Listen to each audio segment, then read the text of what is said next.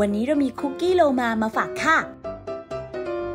วิธีทำคุกกี้ ใส่แป้งอเนกประสงค์ตรากบลงในภาชนะตามด้วยนมผง เบกกิ้งโซดา และเกลือป่นเสริมไอโอดีน เคล้าให้เข้ากันเตรียมไว้ ใส่เนยสดชนิดเค็มลงในอ่างผสม ตามด้วยน้ำตาลไอซิ่ง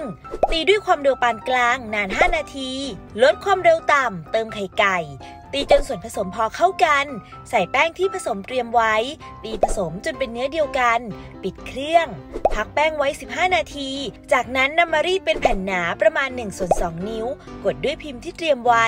เรียงใส่ถาดนำเข้าอบ ที่อุณหภูมิ 375 องศาฟาเรนไฮต์นานประมาณ 15 นาที หรือจนกระทั่งสุกนำออกจากเตาเตรียมไว้ค่ะ วิธีทำรอยเย้าไอซิ่ง ใส่ไข่ขาวลงในอ่างผสม ตามด้วยน้ำตาลไอซิ่ง ใช้หัวตีรูปตะกร้อ ตีด้วยความเร็วสูงสุด 1 นาที จนกระทั่งส่วนผสมข้น ปิดเครื่องค่ะ แบ่งส่วนผสมที่ได้ออกเป็น 2 ส่วน ส่วนหนึ่งเป็นสีขาว อีกส่วนผสมกับสีผสมอาหารสีฟ้า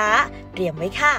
ตกแต่งคุกกี้ด้วยรอยัลไอซิ่งและช็อกโกแลตชิพให้สวยงาม จัดใส่ภาชนะ พร้อมเสิร์ฟค่ะ แค่นี้ก็พร้อมเสิร์ฟแล้วค่ะกับเมนู คุกกี้โลมา